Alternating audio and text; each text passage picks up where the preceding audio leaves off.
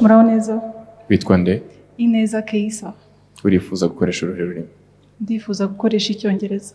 Good luck. Thank you. Ineza, can you kindly take us through your project? yes thank you. My project is called the prevention and fight against drug use and its effects in rwanda Yes, go ahead. How do you plan to do that, and how is the rest of the country going to benefit from that? Uh, thank you. Uh, firstly, I would like to say that drug use has been present for many years. Speak up, please. Drug use has been present for many years, but is now thriving and has risen significantly for various reasons, taking a toll on many, but especially the youth. So, my project involves working together with young people to supplement the government's efforts in suppressing drugs.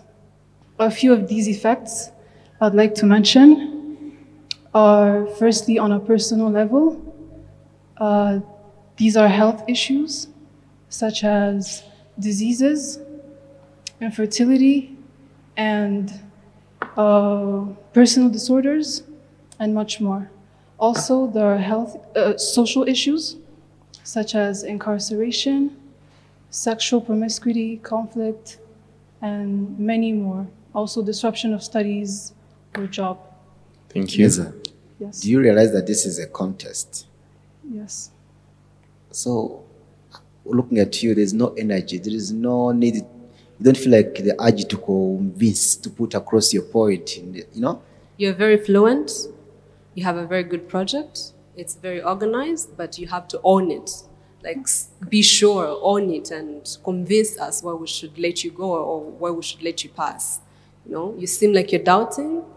Otherwise, I'll give you a good luck for now. thank you Thank you. james your verdict I would like to uh, put forward some of my strategies. please do 30 seconds. Yes. So, to implement these, I would like to work with young people in the entertainment industry so they can depict drug prevention uh, in order to raise awareness because many young people follow these people and look up to them. Also, I plan on sensitizing parents to talk to their children regarding the issue and revive the term kirazira or taboo against drugs so children can grow up rooted in that culture. All right. thank you Understood. Good luck. evelyn Ineza, good luck. Thank you so much. thank you